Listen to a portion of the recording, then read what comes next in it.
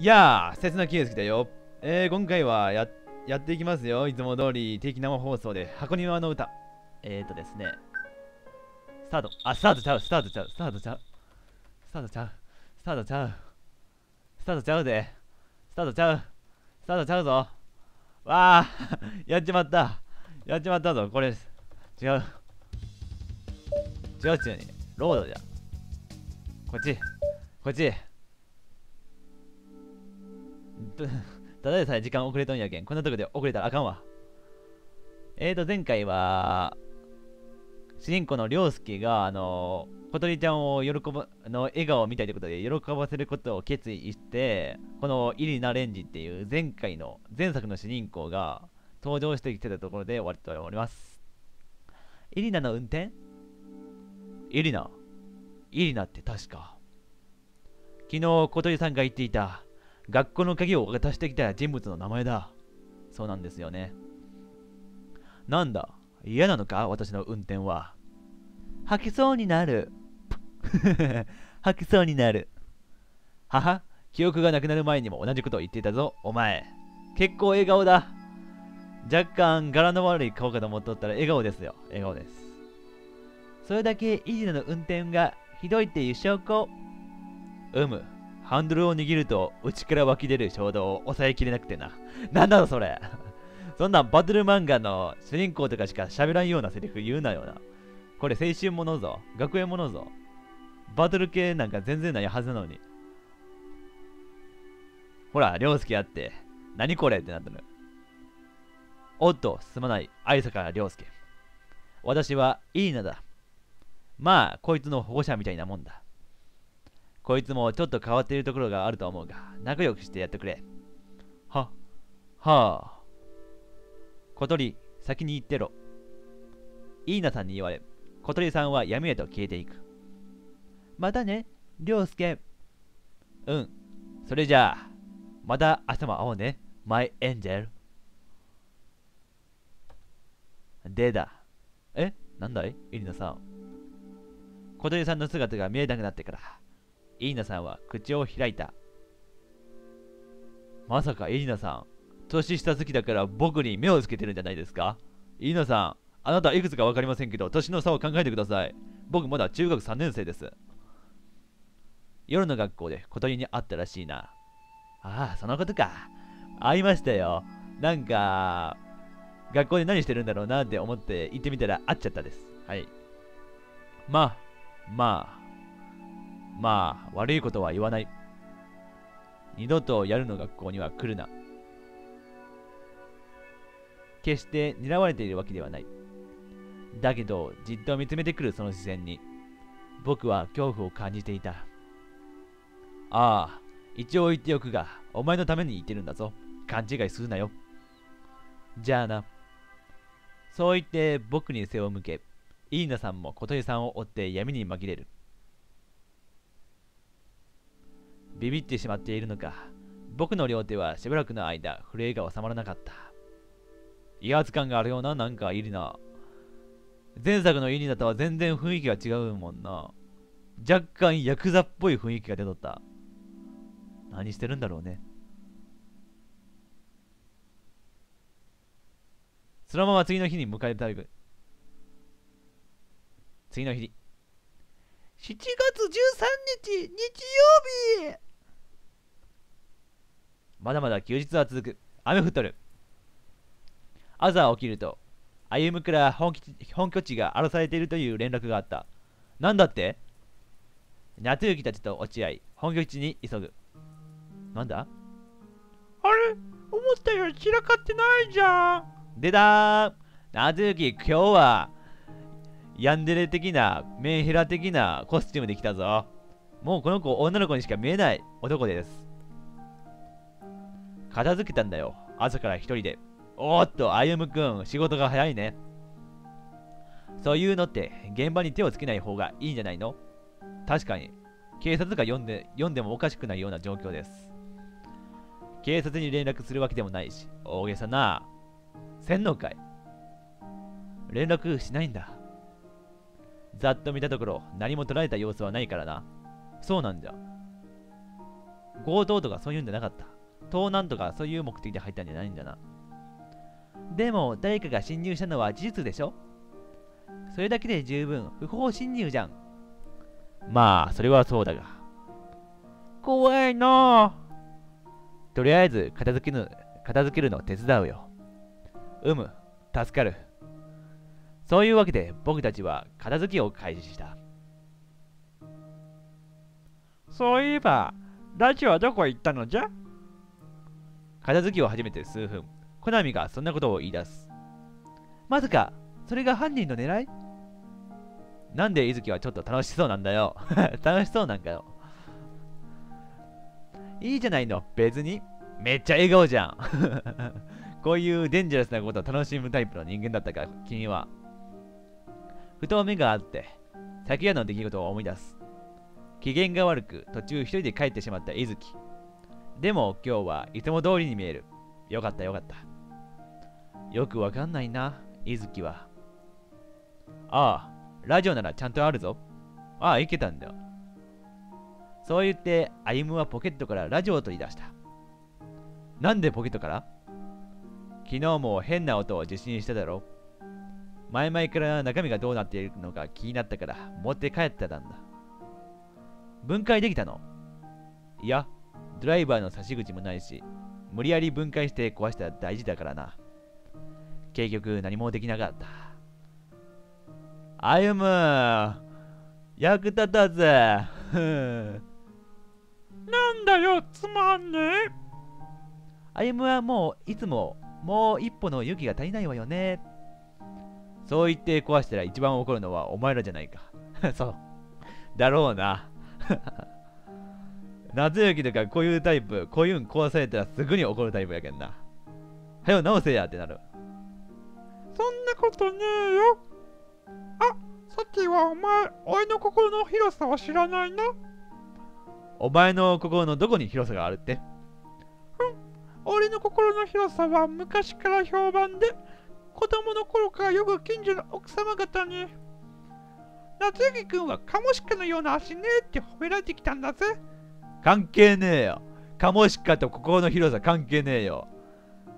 逆にどこに接点感じとんだろお前。カモシカってどんな動物やねん。どんなんだったっけ？全然覚えてない。心の広さの話をしてたよな。なんで急に足の話になってんだよ。片付けろよ。あ。はい。すっかみにくいボケをするな、夏雪。これは実況やぞ、実況。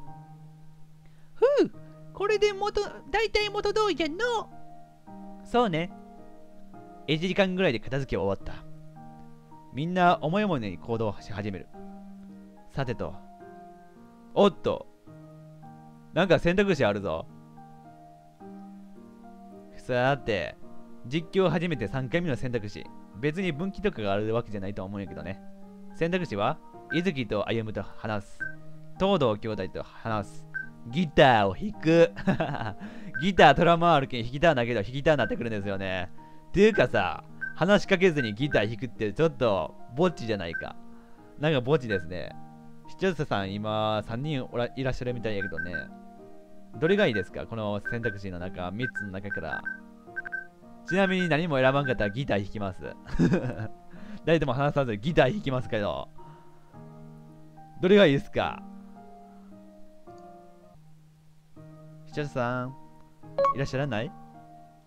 ギター、あ、ギター行きます？ギター行きますよ。よっしゃー、ギターよし、ギターの練習でもするか。もうぼっちやないか。誰だよ、4人も、4人やな、4人やな。4人も他におるのにさ、1人でギターの練習とかもうなんかすごい悲しいな。悲しくなってくるな。いつものようにギターを持ち、練習を始める。毎度のことなので、うるさいと文句を言ってくるやつもいない。お、やってるじゃねえの？どうだ？完成は近そうか？別に曲作ってるわけじゃないし。ふんふんふんふんふん。ふんふんふんふん。よう見たらお前、T シャツに妹って書いてる。そんな T シャツ着てんのお前。妹キャラ出しすぎだろお前。確かに妹キャラやけどさ。そんなにお前自分は妹キャラですっていうアピールしたいん？何なん？妹好きのロリコンでもちょっと相手にさ、好かれようとしたお前。ロリコンをやめといた方がいいぞ。ギターのコードに合わせて、コナミが適当に鼻歌を歌い始める。妹の歌でも歌うんかお前。歌ってほしいな。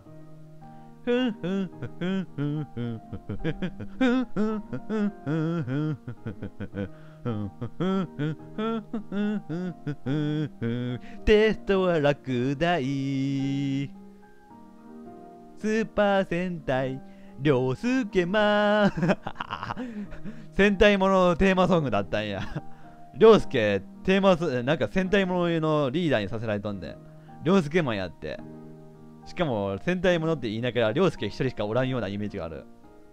待てこら、変な歌詞つけるな。いいセンスしてるじゃない、コナミ。じゃろ？スーパー戦隊、涼介マンパパパパ、パパペパペパ。スーパー変態、涼介マン変態扱いしてきた。いつきが変態扱いしてきた。お前、俺に何の恨みがあるんや？俺の変態ぶりを知らんくせに。あ、ちゃうよ。ちゃうよ。ちゃうちゃうちゃう。俺が変態ってことは、どこで、うん？ちゃうな、ちゃうな、ちゃうな、ちゃうな。ちゃうよ、ちゃうよ。俺変態ってことどこで見たん？あ、ちゃうちゃうちゃうちゃうちゃうちゃうちゃうちゃうちゃうちゃう。もういいや。よし、よし。お前ら表に出ろ。ベシ、バシ、バシ、ベシ、ベシ、ベシ、ベヒー !12 時を回ると、降っていた雨も止んだ。腹減ったな何か置いてなかったっけ？もうないぞ。マジかよあんなにあったのに誰が食べたんだよほとんどお前と伊月だ。特に伊月だ。伊月ちゃん意外と結構食うタイプだったわ。そうだった、そうだった。伊月、食いしん坊め。また食いしん坊のいついつ姉さんかようん。食いしん坊って聞いてその顔されてもさ、あんま可愛くないよ、伊月ちゃん。ちょ、しょうがはないわね。私が買ってくるわよ。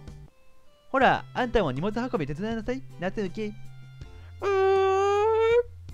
しょうがねえなそう言いながら、先般の二人は部屋から出て行った。まあ、要するに、働かざる者食うべからずってやつです。当たり前です。たくさん食ったんですから。ようやく晴れてきたが、なかなか梅雨が明けないの。梅雨はジメジメするから嫌いじゃ。むしろ好きな季節なんてあるのかそうじゃな。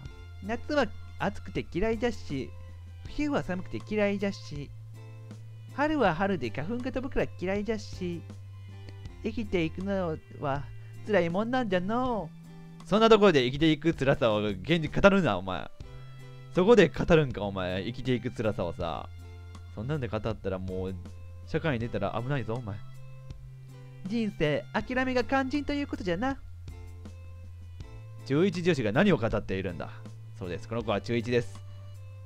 生まれて12、3年しか経ってない。そんな人に人生を語る資格はないんじゃ、ボケ。賑やかなバカ2人がいないと、室内はまったりモードになる。壁を背もたれにしていたら、だんだん眠くなってきた。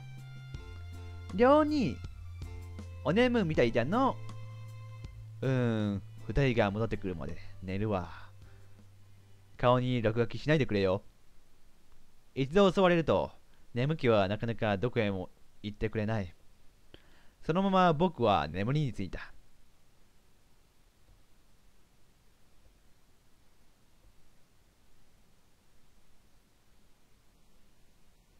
えああ、夕方か。夕方まで寝てしまったんだ。ここは？見たこともないスカイ。え？外じゃない？夕方になっとんちゃうんこれ。熱い雲に覆われた暗い世界がそこに広がっていた。えー、っと、ふと地面を見下ろす。すると、え？人が転がっていた。え？人が転がっていたって何だ事件の匂いするんやけど。え、何？この時間帯的にもコナンでないか、お前。時間帯がすごいコナンでないか。もう、本家のコナンはもう、事件解決しと時間やけどな。それも一人じゃない。大勢だ。なんだって？みんな力なく地面に伏している。驚きはすぐに消えてしまった。きっとここではこれが当たり前の光景だったから。は？ここがどんな場所なのかわからない。でも一つだけ言えることはある。こんな場所にはいたくない。早く元の世界に戻りたかった。ここには何もない。嬉しいも楽しいも辛さや悲しさですらここには存在しない。そんな虚無の世界だった。I'll be back! 帰ってきました !I'll be back の一言で帰ってきました。うーん。あ、やっと起きたわね。えいずき。あ、そっか。眠くなって昼寝してたんだった。なんか変な夢だったな。まあ、夢なんてそんなもんか。よくそんなの枕にして眠れるわね。え？体を起こすと頭があった位置にラジオを置いてあった。おお、すげえな、このラジオ。寝心地抜群。いざという時には枕にもなるラジオ。定価1920円です。お求めはコンビニの、近所のコンビニで。いつの間にか枕代わりに敷いていたようだ。ちょっと首痛いかも。あ、寝心地そんなに良くなかった。まあ、硬いからね。そりゃそうでしょうね。顔を上げ、本拠地内を見渡す。みんなは食後の運動だって。ああ、お前ら俺を起こさずに、俺をのけ者にして食事しとったな、お前。俺を起こしてくれよ、お前ら。食うんだったら俺を起こしてくれよ。俺も食いたかった。はあ。多分外で動き回っているのだろう。なんで伊月は残っているの？日焼けしたくないから。あ、そうっすか。今日、日焼け止め塗ってないんだもん。ああ、そう。あんたのカップ麺、そこに置いてあるわよ。ああ、うん。ありがとう。蓋を開けてお湯を注ぐ。おい、伊月お前、これ醤油やないか。醤油ラーメンでないか。俺はな、豚骨ラーメンの方が好きなんや。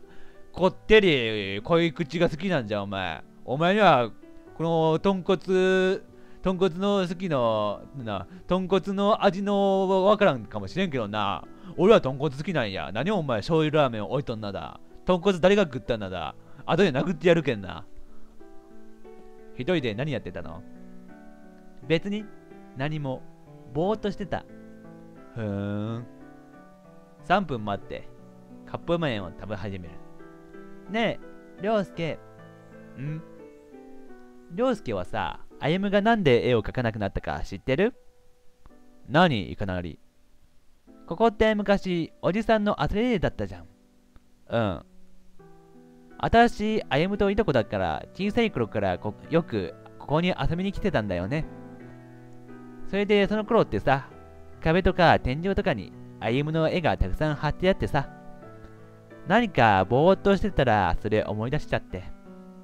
ふーん、こんな過去があったんやね。今は一枚もあゆむの描いた絵はない。あゆむのお父さんが描いた絵も倉庫の中だ。やっぱり辛いのかな。絵を描くとおじさんのことを思い出したとか。まあ、それはあるかもな。どうしたらいいんだろう。どうって別にどうしようもなくない無理やり絵を描かせるのは違うだろうし。それはそうかもしんないけどさ。でもたまには自分じゃどうどうにもできない時ってあるじゃん。誰かに背中を押してもらいたい時って。あるなぁ。そういうなんか友達としての存在感っていうのは大切な時があります。いずきは歩みに絵を描いてもらいたいのうん、描いてほしい。いずきの顔には切実な様子が現れていた。こんな顔するなんてめったにない。そういえば、あることに、いずきは、あゆむが絵を描かなくなったことに気をかけていた。よほどの思い入れがあるのだろう。あゆむがまた絵を描いていた頃、いずきがそれを後ろから眺めていた光景を思い出す。もう今から2年も前の話だ。じゃあ、そう言ってみれば。さすがにもう2年前みたいに怒ったりはしないだろう。そう。だよね。真面目な顔で、伊月は意志を固めているように見える。その息だ。伊月ちゃん、レッツゴーやで。よし、タイミングがいい時に行ってみる。ありがとう、涼介。背中を押してほしかったのは私だったかも。うん。偉そうなことを言っておきながら。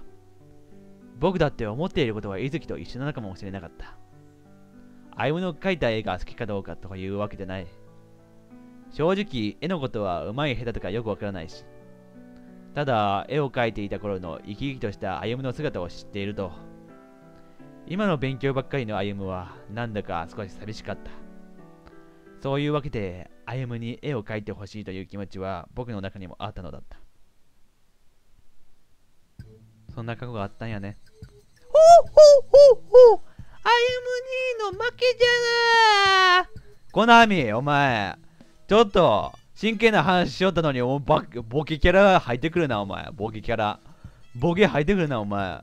ムード台無し。これで私の48勝2敗じゃの。ぬぐぐ。お前、弱すぎ。日が暮れる時刻になるまで、僕たちは自分たちで考えた遊びをしていた。お、どんなほん、ほ、本当に深刻な運動神経のなさのね。言うなみんなまで言うなそうだ。歩はめちゃくちゃ運動神経が悪いんだ。ちなみにね、言うとくよ、視聴者視聴者の皆さん。えーとね、コナミちゃんはね、歩くんよりもね、2歳年下なんだ。しかも女子なんだ。年下でかつ女子に負けてるよ。運動神経で。かわいそうだね。日焼けしたくないと言っていた伊月も夕方になると外に出ていた。よーし、腹も減ったし、そろそろ帰るかな。そうじゃの、私もペコっ腹じゃ。これからは本拠地の鍵、ちゃんとかけておかないとな。また誰かに入られたら嫌だしね。ということで、これからは最後に帰る人が鍵をかけて、牛乳箱の下に隠すことになった。おお。じゃあ、明日なじゃあのー。東堂兄弟と、あ、別れ。伊月と歩とも別れ、僕は家に向かって歩き出す。しばらく何も考えずに歩いていると。あれ？見知った背中が視界の端に映った。小鳥さん？小鳥さん？歩いている方向は学校。何度も釘は刺されている。夜の学校には来るなと、いいなという人にも言われた。だけど、僕の足は自然と小鳥さんを追って学校へと向かっていた。行け、涼介小鳥さんにアタックするんじゃ今度こそ彼女にもてもなってもらうぞ、お前。行けるぞ。学校やぞ、学校。夜の学校。ムードはたくさんあります。しかしまだ夕方か。まあ夕方もいいけどね。まだ日が沈みきらない。夕焼けの校舎内。僕はまた段ボールを剥がして侵入する。少し歩くと、すぐに小鳥さんに見つかった。なんで？なんで来るの？来ないでって言ってる？来ちゃダメだって言ってる？なんで毎回ここに来てしまうの？かその理由は僕自身よくわからなかった。昨日の夜も来てたの涼介には関係ない。質問してるのはこっち。じっと睨みつけてくる小鳥さん。小鳥さん、僕は君に恋をしてるんだ。だから毎日学校に来て、来ているんだ。気になって、君のことが気になって、この学校に、夜の学校に来てしまうんだ。とは言えず、答えようがなかった。すると、その時だえ？な、なんだ今の？僕の目の前に、それは映った。廊下の下に、廊下の、そえっ、ー、と、えっ、ー、と、なんだこれ？隅にいた黒いもやのようなもの。気のせいじゃない。確かにいた。え？見たの？え？うん。見えたの？黒いもやみたいな何かが。えー、言い終わる前に小鳥さんを走り出していた。こ、小鳥さん僕は慌てて彼女を追いかける。待ってよ、小鳥さんというわけで今回はこの辺です。セーブです。あの黒い影が何かっていうのは、うすうす気づいてるんじゃないのか？前作を見てくださった人は。というわけで今回はこの辺で、今回はちょっと視聴者さんが少なかったかな。とりあえずあんま、そうやね。ここであんま進展したら、ちょっと次回の視聴者さんがね、今回視聴者さんが見ていなかったもんで、あんまり、ちょっと大変かもしれないんで、ここら辺にしておきます。ご視聴ありがとうございました。塩揚げ。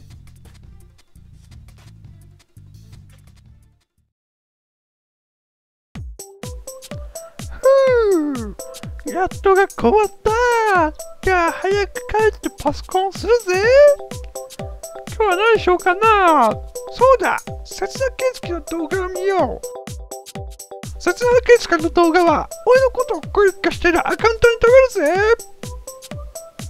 俺の気持ちがスパーキー